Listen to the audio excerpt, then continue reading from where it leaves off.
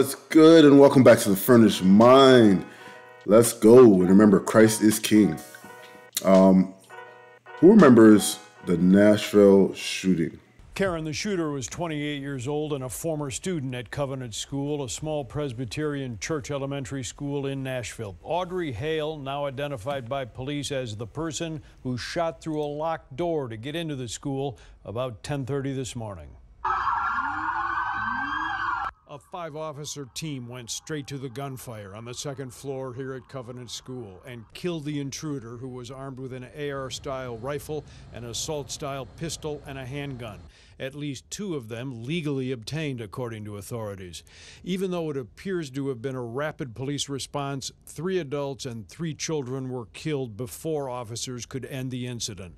The children, a pair of nine year olds and one child turning nine, and among the adults, a janitor, a substitute teacher, and the head of the school, 60 year old Katherine Koonce.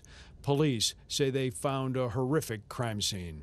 A horrific crime scene it was. Um, just knowing that this is something that that's within my community um, here in Nashville, that was as heartbreaking as it can get. Um, you, when you send your children off to school, you believe that they're safe.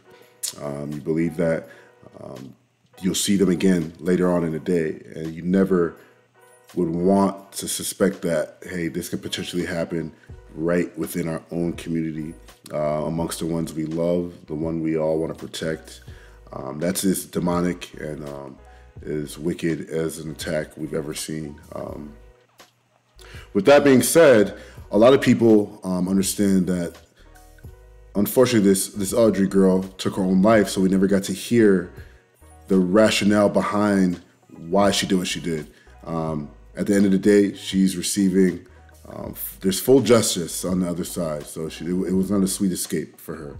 Um, but um, a lot of people want to know the motives and understand why people do the things they do, especially um, to this degree, um, and as uh, wicked as this was. Uh, but they weren't able to get that. Um, there was a glimmer of hope because there was a manifesto, and people were like, "Well, we want to read it. We want to know. The public wants to know. We, we deserve to to hear this." Um, because we understand what type of human being she was. To no one's surprise, uh, police withheld that information. They would not release the manifesto. In fact, it, it sounded like an exchange hands, and it went from the police um, to the FBI, and they held on to it. A lot of them seen it, but they would not tell the general public what was going on. Um, but today finds out that uh, we're finding out that Steven Crowder was apparently able to get screenshots of the manifesto, and let's kind of take a dive into what um, is going on here. Nash- Nashville Shooters Manifesto released by Steven Crowder. What we know. Conservative social media personality Steven Crowder teased the release of a manifesto alleg- allegedly written by an accused school shooter in Nashville, where six victims died earlier this year. Uh, in the video posted Monday to YouTube, Crowder said the manifesto was leaked and shared uh, screenshots of portions of the document, which was believed to be the work of Audrey Hill, age 28, um, who they identified as the shooter. I'll be reading the manifesto here in the show. I wish that I wouldn't have to, Crowder said in a video. And of course, on X, or aka Twitter, Crowder shared other images of the manifesto, including one part that said, I hope I have a high death count. Let's go ahead and take a look at uh, some of those screenshots. So here's the, the tweet breaking Nashville School Covenant shooter. Audrey Hale's Death Day manifesto target targeted crackers with white privilege. And I quote, Want to kill all you little crackers. Quote, I hope I have a high death count. Quote, I'm ready. I hope my victims aren't. And quote, ready to die. Hashtag Nashville Manifesto. Uh, here's some of the the images, the screen. Oh man, this is this is dark. I can't kind of read the handwriting, but it's dated March 27th, 2023. Uh, to today is a day. The day has finally come! Exclamation point. I can't believe it's here. Don't know how I was able to get this far, but here I am. I'm a little nervous, but excited to, been excited for the past two weeks.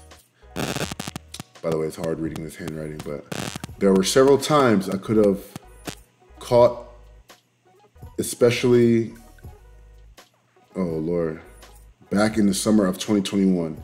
None of that matters now. I'm almost an hour and seven minutes, seven minutes away Can't believe I'm doing this, but I'm ready. I hope my victims aren't. My only fear is if anything goes wrong, I'll do my best to prevent any of the story. This is ineligible, can't really read it. Um, God let my wrath take over my anxiety. It might be 10 minutes tops.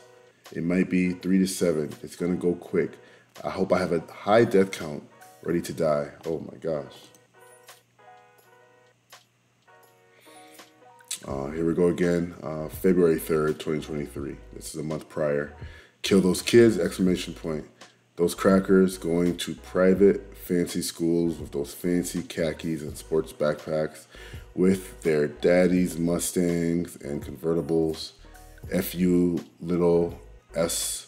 I wish to shoot. You're weak. A. Private parts and mop yellow hair. Want to kill all you little crackers, bunch of little F word. While your white privilege, with your white privilege, F U F word. And again, very hard to read her handwriting, but um, at the same time, trying to uh, censor some of those words for YouTube. Later schedule, death day. And guys, this is an entire itinerary for the day. She has this down starting from 6:30 a.m. 7 a.m. get dressed. 7:05 to 8:55 is covered with stuffed animals and possessions. 9 a.m. eat breakfast at home. 9:30 a.m. pack up special belongings in backpacks. 9:50 test knife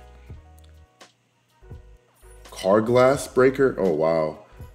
10 a.m. leave for Royal Range. 19 to 20 minutes. 10:20 a.m.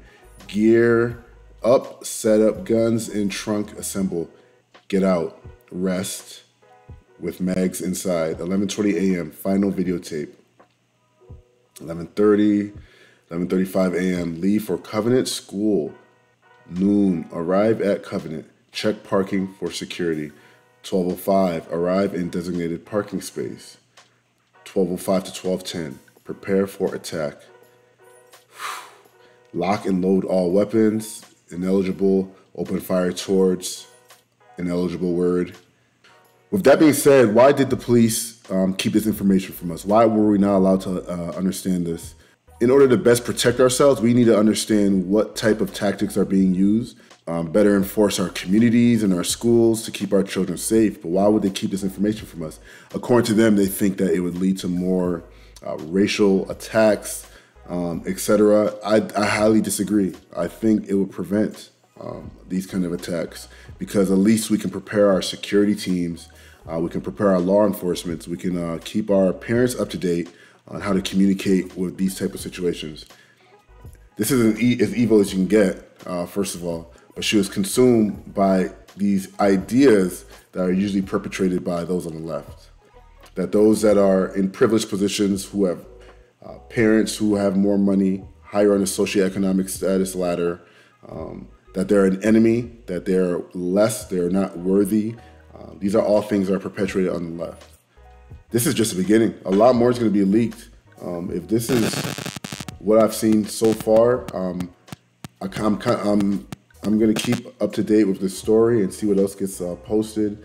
I'm going to try to pull that as well. Um, but you guys kind of let me know.